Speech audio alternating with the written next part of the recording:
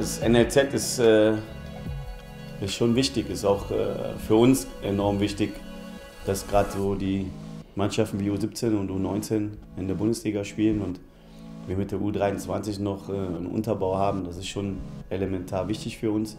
Wir ähm, klar verfolgen, weil wir selber aus dem NLZ kommen, verfolgen natürlich so ein bisschen die Arbeit im NLZ, haben auch einen regen Austausch mit den, mit den Trainern.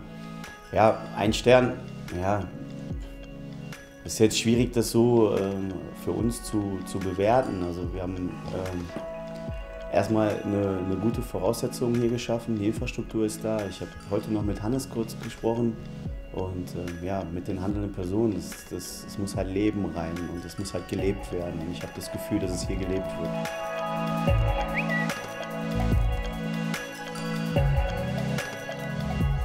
Man muss das natürlich auch ein bisschen ähm, muss ein bisschen Abstriche machen, ähm, Träume, weil irgendwo ist es für sie alle, ja, ähm, sie investieren unheimlich viel. Junge Spieler investieren unheimlich viel, auch wenn das von draußen nicht so wahrgenommen wird.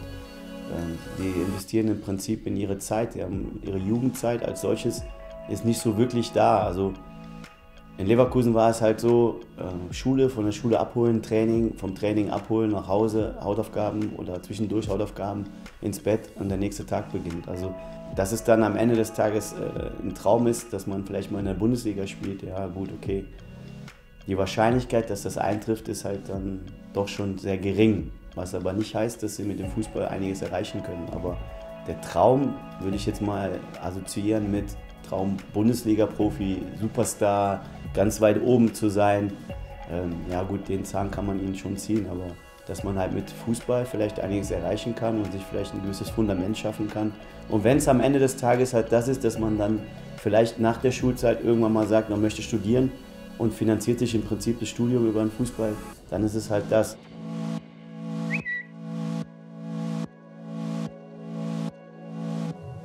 Ja, ich selber bin auch in einer Art NLZ. Es gab zu der damaligen Zeit keine NLZs. Also damals war es halt ein bisschen anders. Damals war die Konstellation halt so, dass du ähm, äh, Top-Vereine hattest, Bundesliga-Vereine hattest. Äh, die haben so gearbeitet wie die heutigen NLZs, ähm, auch mit Freistellung von, von der Schule. Ähm, aber es war jetzt nicht so professionell, wie es heute ist. Also heutzutage, wenn ich jetzt mal als Beispiel nehme, was bei den Bayer Leverkusen los ist, ähm, ob das ein pädagogischer Leiter ist, ähm, ob das äh, Kooperationen mit Schulen sind, Eliteschulen sind. Ähm, also das gab es zu unserer Zeit halt nicht.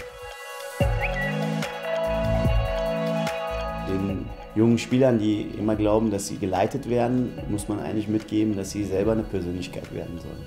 Und wer selber eine Persönlichkeit werden, bedeutet halt auch Verantwortung für sich übernehmen und Verantwortung für seine eigene Situation zu übernehmen. Und ich glaube, der, der das macht, der in sich auch als Persönlichkeit reift, der wird auch den Weg nach oben äh, schaffen. Weil es gilt halt auch für, für viele junge Spieler frühzeitig schon äh, eine gewisse Widerstandsfähigkeit aufzubauen, gegen Widerstände sich ähm, durchzusetzen.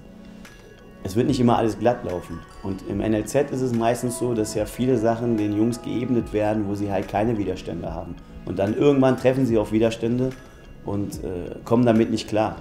Die, die eine Persönlichkeit entwickelt haben, die kommen damit natürlich klar. Und die werden auch dann gegen diese Widerstände angehen können und sie dann meistens auch bezwingen können. Und das sind dann die Spieler, die es dann auch schaffen bis nach oben hin und die ein Profi werden.